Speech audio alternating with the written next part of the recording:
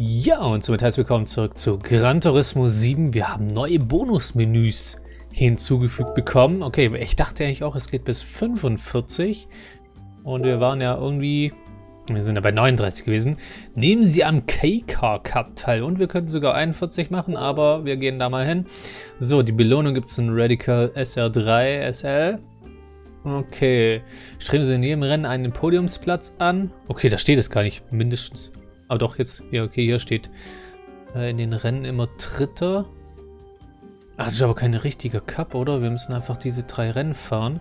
Kann man, wir starten das. Für dieses neue Menü möchte ich, dass Sie an einem K-Car Cup teilnehmen. Sie sind mit dem Begriff vertraut. Es handelt sich um eine eigene japanische Kategorie mit strengen Vorgaben, wenn es um Größe und Leistung geht. Kleiner als der Toyota Aqua oder der Honda Fit ist das die kleinste existierende Fahrzeugklasse aus Japan. Die meisten K-Cars sind praktisch und günstige Fahrzeuge für die breite Masse, aber einige von ihnen werden für ihr schönes Design, ihre Handhabung und ihre komplizierte Komponenten geschätzt. Da wären der Suzuki Cappuccino, okay, der Daihatsu Copen und der Honda Beat und S660, um nur einige zu nennen. Das Cappuccino ist schon ein geiler Name. Ich möchte, dass Sie eins dieser Autos in Ihren Besitz bringen und an 3 K-Car-Rennen teilnehmen. Schließen Sie alle drei Rennen ab, dann gebe ich Ihnen ein Geschenk. Viel Erfolg. Natürlich, äh, wäre es natürlich interessant, wie die Autos aussehen oder ob ich die speziell filtern kann. Weil der Witz wäre an sich. Also was, also der, was heißt der Witz an sich? Nee, nicht der Witz. Ich will natürlich das, was am coolsten aussieht, so gesehen. Wir gucken hier nochmal rein. Hier sieht man diese kleinen Fahrzeuge. Ah, die sehen halt alle nicht geil aus, gell? Also auf den, auf den Bildern. Die Frage ist jetzt halt generell, kann ich jetzt in, in den Wagenshop gehen und einfach nach K-Cars filtern? Ich gehe jetzt mal hier bei Gebraucht rein. Da wird es vielleicht eher gehen. Wir haben jetzt hier eine Wunschliste, die ist aber so... Einen Filter habe ich jetzt nicht, gell? Hier haben wir den Honda Beat. Das war doch auch ein KK.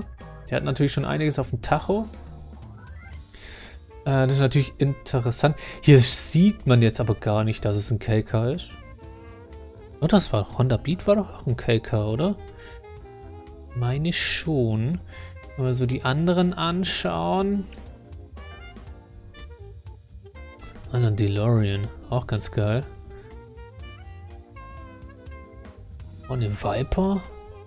Könnte man sich... Die Frage ist natürlich, wie, wie, wie, wie gut es ist, hier so einen Gebrauchten zu kaufen. Und R34. Oh, Alter, 390. Was kostet der Original? Warum hat er 78.000 Kilometer drauf? Da müssen wir vielleicht dann noch irgendwie Motor wechseln oder so. Oder erneuern. Wieso ist denn der so teuer? Wir gehen mal ins Brand Central rein. Ich suche, äh, also die Leute, die sich jetzt auch wundern, dass ich hier noch oben so viel Geld habe. Ich habe ja noch zwei, ich habe ja eine Einladung von Ferrari und von Pagani bekommen.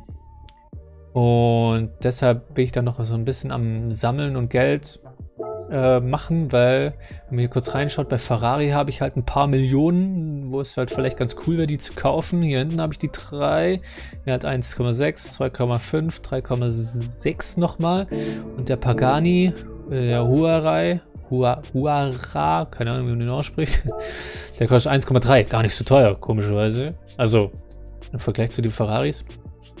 Und äh, ich habe dann natürlich noch ein bisschen Zeit hier. Ich werde noch mal einige von den äh, Roulette-Tickets sammeln. Dann kommt vielleicht noch ein bisschen Geld zusammen. Vielleicht haben wir da noch ein bisschen Glück.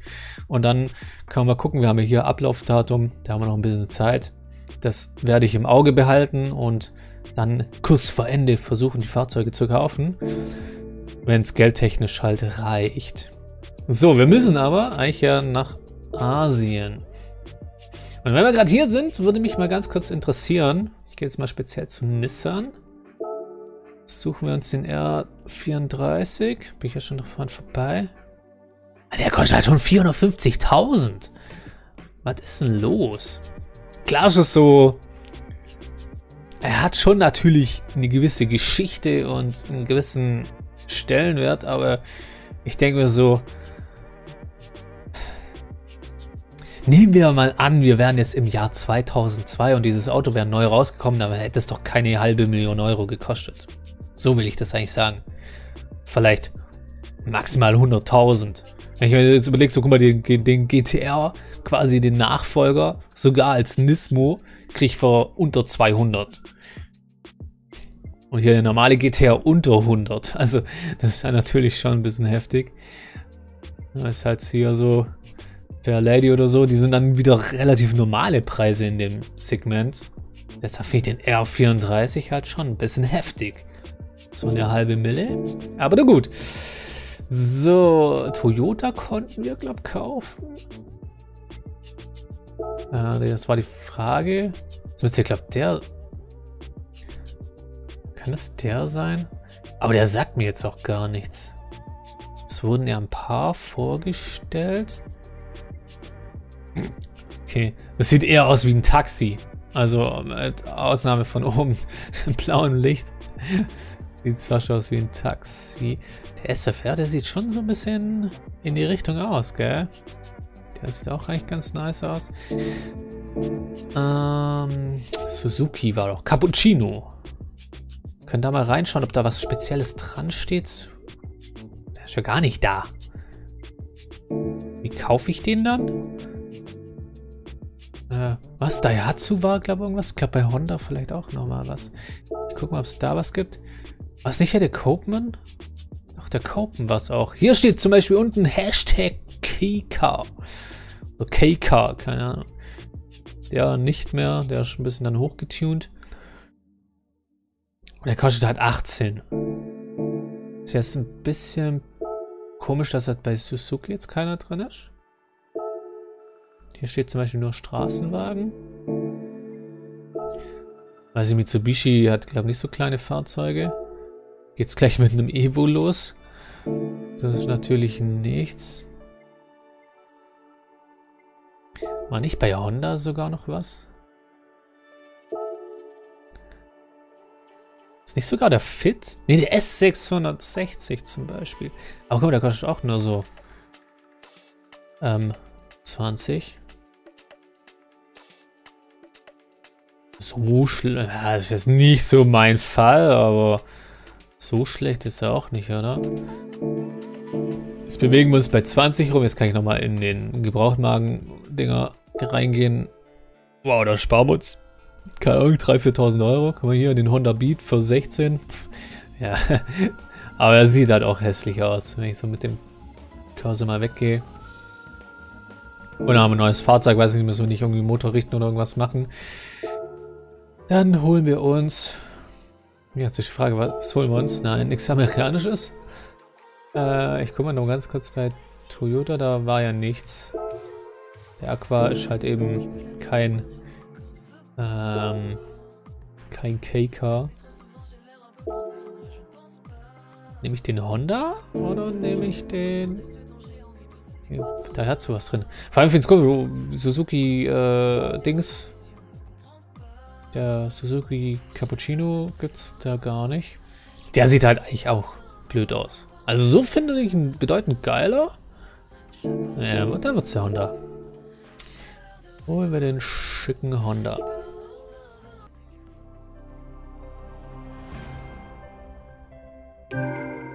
So, einmal in Gelb. Jetzt ist die Frage, ob man ähm, ob wir nur noch cool tunen können oder überhaupt dürfen. Das ist natürlich auch noch so eine große Sache. Wir schauen mal ganz kurz rein. Äh, ob wir Leistungspunktebegrenzung haben? Ich glaube natürlich schon. Wir haben ja 400 und wir sind schon bei 300. Und wir brauchen Komfortreifen. Okay, da müssen wir mal schauen. Weil es auch noch so rot war. Ich glaube, die haben wir noch gar nicht. Schauen wir ja schon mal, ob wir was Cooles anbauen können. äh, Felgen. Eigentlich sehen sie... Ja, warte, ich mache mal erstmal Anpassungsteile. Ja, guck, das sieht doch mal nice aus. Und irgendwie muss ja das Auto besser aussehen, oder? Besser werden. Wir können eine Eckspoiler machen. Alter! Größer wie das ganze Auto, oder? Der kommt hin. Der kommt sowas von hin. Sogar noch groß. Ich finde die gar nicht so krass verschieden. Gerade zwischen niedrig und mittel. Komm on, mach mal mittel. 700. Auch süß. Ähm, ansonsten, ja, da braucht man nichts großartig. Frage schreifenmäßig. Ja, nehmen wir irgendwas mal. Aber wir können hier... Ach, wir können auch verschiedene Größen reinmachen. Weil hier vorne, hinten verschiedene. So, ähm, da müssen wir mal kurz hier schauen. So ein bisschen raus, machen wir voll breit. So, wir holen noch eine breite Karosserie. machen hier den richtig fett. Ja, sieht doch schon mal ein bisschen besser aus, auch wenn es halt, naja, auch nicht das geilste Auto von vornherein ist, aber na gut. Man muss ja irgendwie so ein bisschen was machen, oder? So, dann gehen wir in den Tuning Shop. Ein bisschen was können wir noch machen. Wir müssen auch nur mit den Reifen schauen. Mal gucken, was wir hier machen können. Alter, 47 kW hat das Teil. oh Mann. Also, äh, was sind für Reifen drauf? Komfort weich.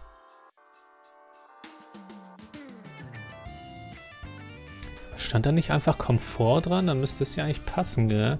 Aber ich darf halt nicht äh, weiter großartig oder keine anderen Reifen. Schauen wir mal, was wir noch Fettes machen können. Müssen ja ein bisschen an der Leistung schrauben. Können auch mal Bremsen nehmen. Dass wir ein bisschen länger auf dem Gas bleiben können. Machen wir ja noch Ladeluftkühler rein. Mal Rennluftfilter rein. Auspuff natürlich, darf nicht fehlen. Hier passiert eigentlich nichts. Hier, das ist halt relativ teuer.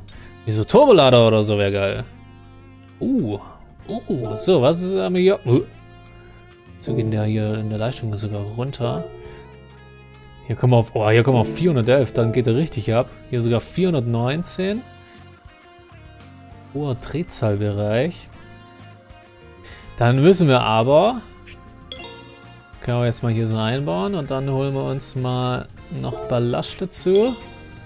Und dann schauen wir mal, dass wir den noch ein bisschen runter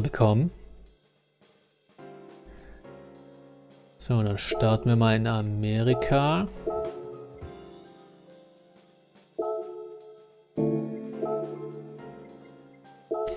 So, wir brauchen... Hier müssen wir wohl einiges mal dazu tun. Oh. Machen wir 50 Kilo. Oh, das hat ja gar nichts ausgemacht. Auch ein bisschen heftig. Machen wir 120. Oh je. Machen wir 175. Dann sind wir schon fast an der Grenze. Oh! Das wird eng. Alter, jetzt bin ich hier voll drunter wieder. So, sehr schön. Schön knapp. So, wir fahren fünf Runden.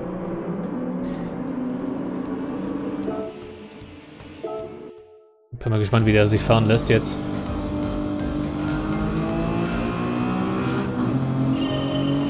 Wie eine Gurke. Hört ihr den Turbolader? Wie er ein bisschen pfeift. Jetzt kommt er wieder. Ah! Alter. Okay, ist natürlich schon heftig. Letztes Mal sind wir mit dem Nissan GTR gefahren, der ja auf der Geraden extrem abgeht. Und dann mit 350 km/h oder so. Und jetzt fahren wir mit dem Auto und kommen vielleicht nicht mal auf die 100. Aber der Turbolader hört sich an wie ein großer. War schon wie im Nissan GTR. Kommen wir gar nicht nach vorne. Das ist ja natürlich auch ein bisschen interessant, oder?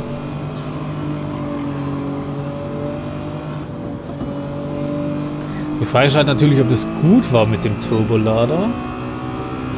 Und mit dem vielen Gewicht jetzt zusätzlich. Das ist eben die große Frage.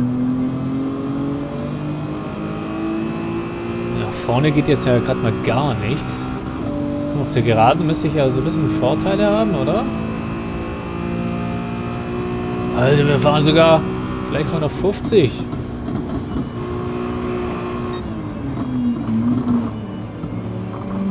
bisschen viel gebremst. Wir sind auch ein bisschen näher rangekommen, aber oh, das wird halt schon ein bisschen schwierig hier. Habe ich das Gefühl.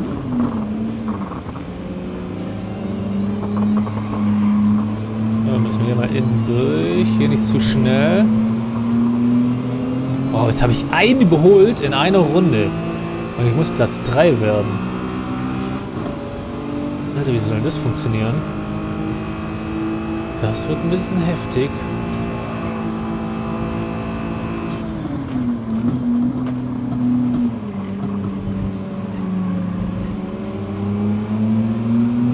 Hier geht ja gar nichts. Wir sind ja an der Leistungsgrenze.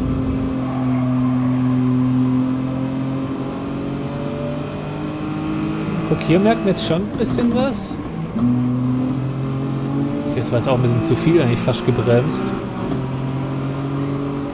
Na, jetzt zieht er wieder innen durch. Jetzt ist er hinter uns. Alter, ich kämpfe hier um ein, zwei Plätzchen. Eigentlich müsste ich um zehn kämpfen. Oh je, das wird ja gar nichts, ey. Aber wir haben jetzt zweite Runde. Erste Runde haben wir eine Volt, zweite Runde sind wir jetzt schon bei zwei. Und wir sind noch nicht am Ende. Es wird schon ein bisschen besser. Wieso war die erste Runde so komisch? Muss ich mich erstmal ein bisschen eingewöhnen. Sorry, sorry, sorry, sorry. Alles eine Kontrolle. Ja, toll, ist vorbeigefahren. Okay, das wird natürlich ein bisschen, ein bisschen schwierig hier alles. Unten raus. Das ist halt das Problem, dass der Turbolader oben raus auf die hohe Drehzahl geht. Und wir ja fast hier eigentlich von unten raus was bräuchten. Das wäre fast vielleicht sogar wichtiger.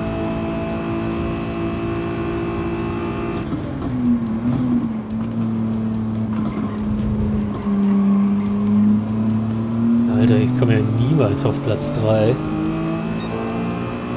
Die Frage ist vielleicht, wenn eine andere Strecke nachher kommt, ob es dann schlauer wäre, vielleicht wieder den Turbolader mit hoher Drehzahl zu nehmen. Guck mal hier. Eigentlich braucht man niedrige Drehzahl und darauf geschissen, was äh, die Leistungspunkte sagen. Ich meine, ich kann dann auch wieder Ballast rausnehmen. Und vielleicht noch was anderes reinbauen. Keine Ahnung. Müsste man sich dann mal so anschauen. Gerade hier auf der Strecke könnte vielleicht der andere Turbolader wirklich besser sein. Und hier, bis jetzt geht noch gar nichts. Jetzt so langsam. Jetzt fährt uns ein bisschen davon.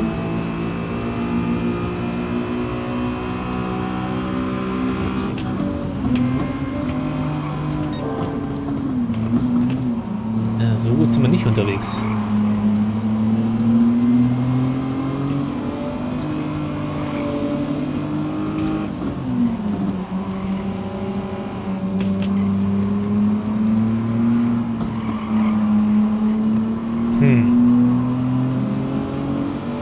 Platz 10.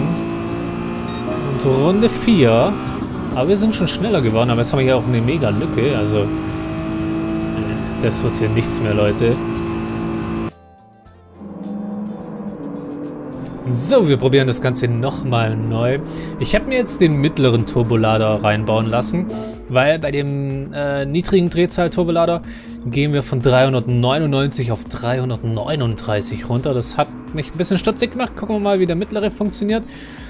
Äh, ich habe es auch, glaube an die 80 Kilo rausgenommen. Also wir waren dann, mit dem mittleren waren wir dann, keine Ahnung, bei 360 Leistungspunkte. Dann habe ich den Ballast wieder rausgenommen, damit wir wieder an die 400 hinkommen.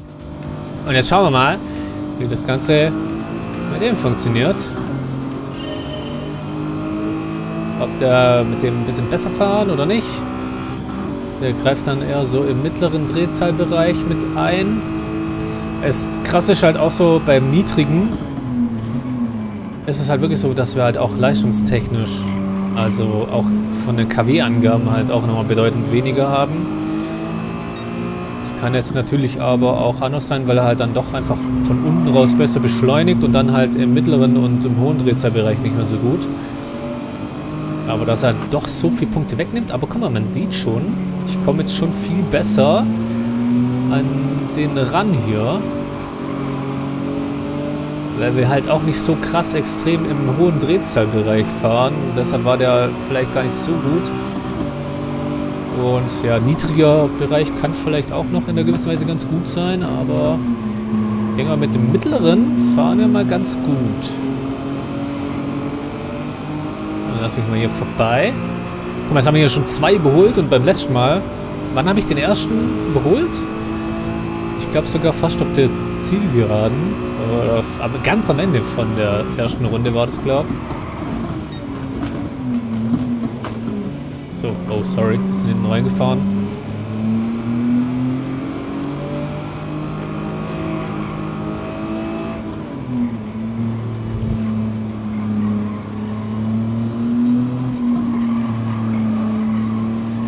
Naja, ein weiter rausgekommen. Oh, ein Hütchen umgefahren. Oh mein Gott.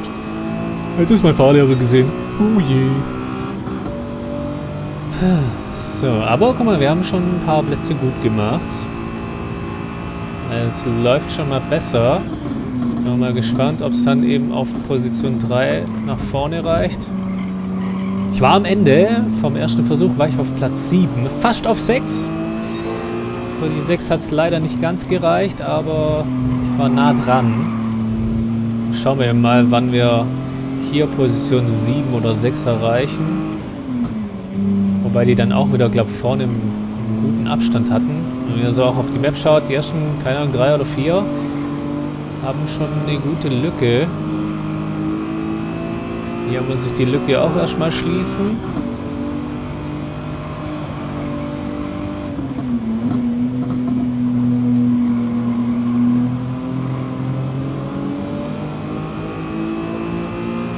So, hier kommen wir gleich an die ran.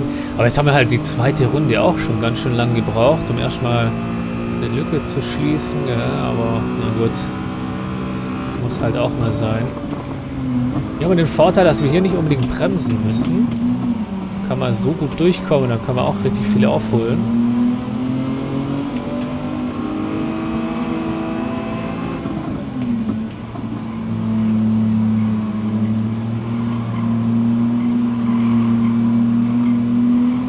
Wieder hier so ein bisschen, bisschen besser wie davor, aber na gut.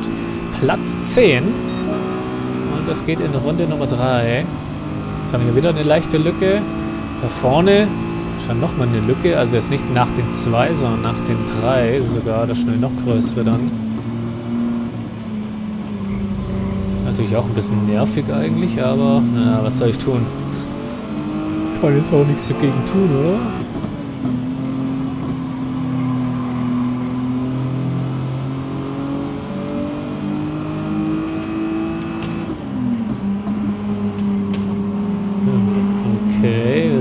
Dran.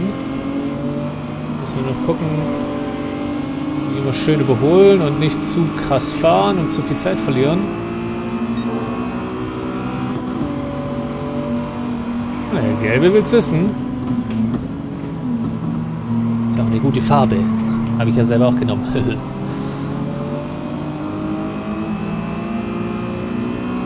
so. Ja, mit der Zeit bin ich auch mal gespannt. Letzte Runde waren wir, glaube ich, 15 Sekunden hinter Platz 1. Auch hier an der Stelle, jetzt sind es 11. Boah, das wird halt schon noch ein bisschen heftig. Sorry. Ja, das war jetzt nicht so gut. Ja, irgendwie irgendwas zwischen mit dem PlayStation Network los. Keine Ahnung.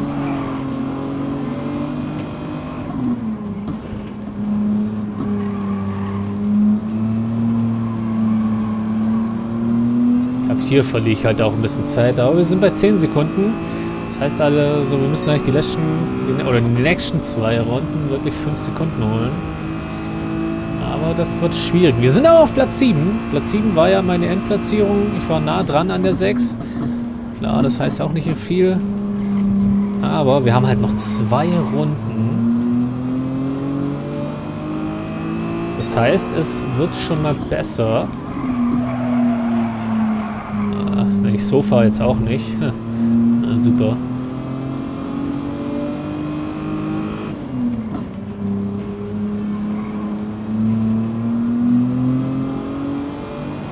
Jetzt kämpfe ich hier, um an Platz 6 ranzukommen. Ist nicht so geil. Keine so tolle Platzierung eigentlich.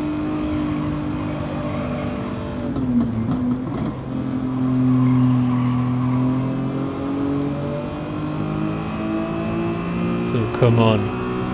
Vor allem, was da vorne ist, die 4.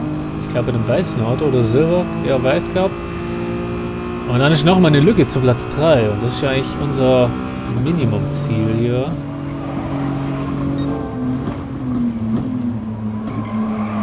Natürlich auch ein bisschen blöd. Nur was für eine Lücke da noch entsteht.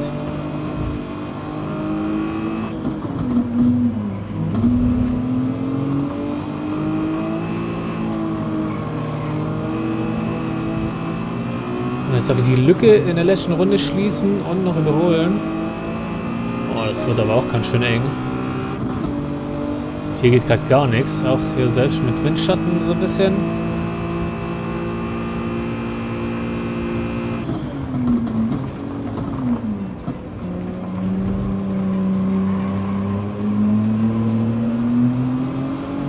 Ich komme gerade gar nicht weiter. Hier irgendwie tricksen. 7,4 Sekunden auf 1. Habe ich gesagt, eigentlich muss ich 5 Sekunden machen, aber es waren jetzt nur 3 oder 2,5 sogar in der Runde aufgeholt.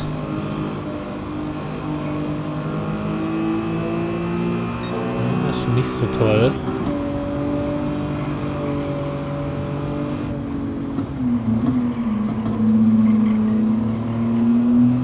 Ich bin halt immer noch nicht an der 4 vorbei. Es wird halt echt nichts, Alter. Wie übel richtig krass hier.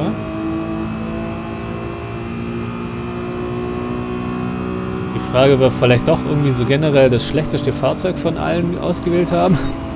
Ist vielleicht das doch der, keine Ahnung, der, äh, was fährt denn alles mit?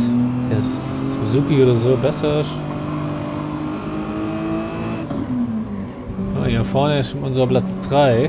Also natürlich bedeutend besser als beim ersten Versuch. Aber es reicht halt leider noch nicht mit dieser kleinen Gammelkarre. Gibt's ja gar nicht. Wieso habe ich keine Flügel mehr? Wieso haben wir keine An Anbauteile hin?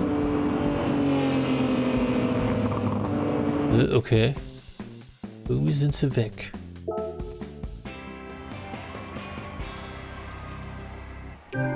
11.400. Was für ein Preisgeld. Krasse Sache. Ja, dann würde ich mal sagen, ich bedanke mich fürs Einschalten. Wir sehen uns im nächsten Part hoffentlich wieder. Bis dahin wiederschauen und reingehauen.